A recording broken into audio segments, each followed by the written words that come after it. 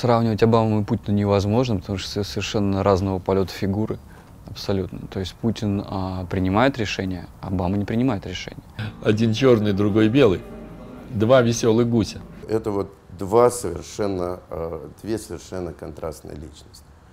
Обама, э, ну, может, человек, но он и неплохой. И, кстати, Путин неоднократно с юмором и с, так, с улыбкой, он все время ему какие-то респекты в человеческом плане э, отправляет. Что и качество человеческое у него может быть э, вполне, и душа-то у него добрая. Да вот только ему приходится, ему как, его, как за ниточкой его дергают.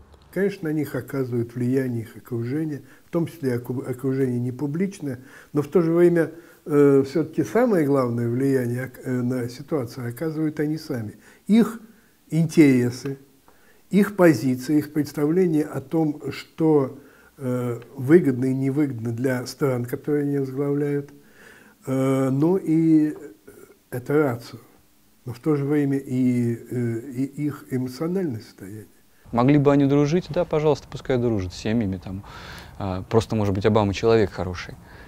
Но как э, руководитель государства, который несет какую-то ответственность за то, что он делает, я думаю, Путин в этом смысле даст 10 фор вперед. В смысле, десятикратное превосходство имеет, как минимум. Политика есть политика, отношения президентские это отношения. Они могут, наверное, они, может быть, даже созваниваются вечерами и желают друг другу спокойной ночи. Мы же этого не знаем и не узнаем никогда.